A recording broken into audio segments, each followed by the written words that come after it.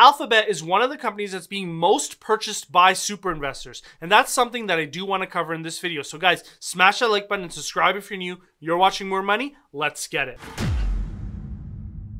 What's up guys and welcome back to the channel where the goal here is to help at least a thousand people achieve financial independence much sooner. And let's dive right into this one because this one's a big one. So you can see here that the information that I get from Dataroma is in Q1 of 2022. You can see that the top five names that were being purchased by super investors were Facebook, so Meta Platforms, Microsoft, Alphabet, Amazon, and Visa. And Alphabet is the one that I want to cover today. I'll cover the other names in separate videos.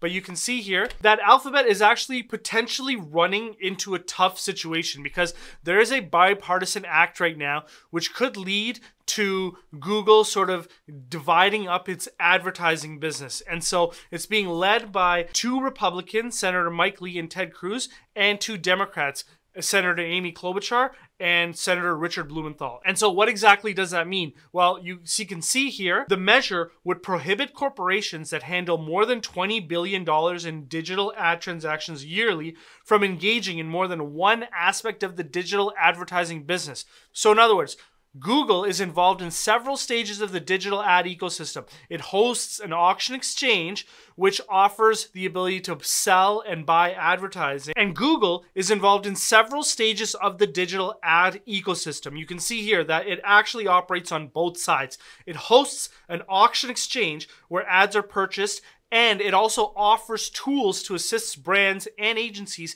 in selling and buying advertising. And so critics for years have said that Google has an unfair advantage in both running the exchange as well as serving as both buyer and seller of advertising and it could use its power to manipulate the ad market to its advantage, which of course Google denies, but they face difficulty in proving. And so the question is, will this legislation actually go through? And you can see here, the support for the antitrust reform to rein in tech dominance extends across ideological lines, which means that it'll probably go through because that means it'll probably become bipartisan. And that's what we're seeing here.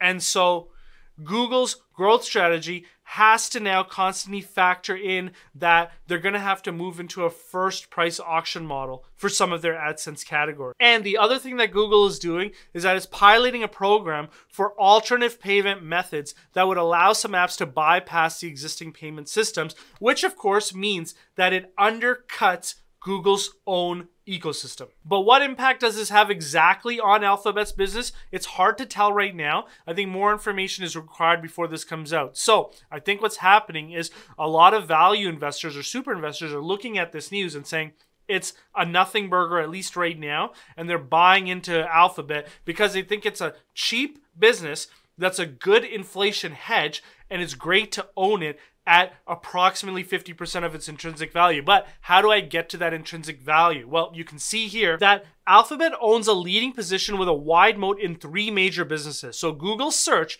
it's still growing at good rates. I'm growing this thing out at 12.5% out through 2026. YouTube ads, you can see that I'm growing in between 20 and 30% going out to 2026.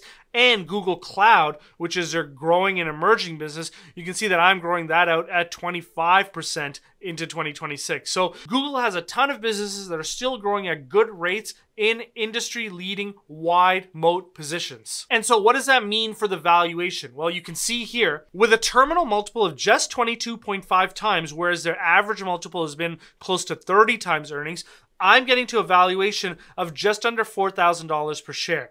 And the current market share is approximately 2200 bucks a share, meaning that this company is trading at approximately 50% of its intrinsic value. I guess they're closer to 60, but you see what I mean. And where does Google stack up on the companies that we're following or on the tracker that the Patreons get access to? Well, you can see that Google is in that beige area where the price is uh, getting closer to less than 50% of its intrinsic value. So in other words, Alphabet or Google, however, whatever you want to call it, is closing in on becoming one of the cheaper opportunities in the universe of securities that we're following. And if you want access to the tracker that the Patreons get access to, you can access that at the lower tier of the Patreon membership level. And like I always say, if you decide to try it out and it's not for you, don't just cancel it message me in the Patreon to let me know that you tried it and it wasn't for you, and I'll fully refund your first month subscription because that's how much I believe in the effort and hard work that's going into these models and how much value I believe that they produce. And with that said, I do believe that Jerome Powell is right that these interest rate increases could lead us into a recession, and I go into that in this video right here.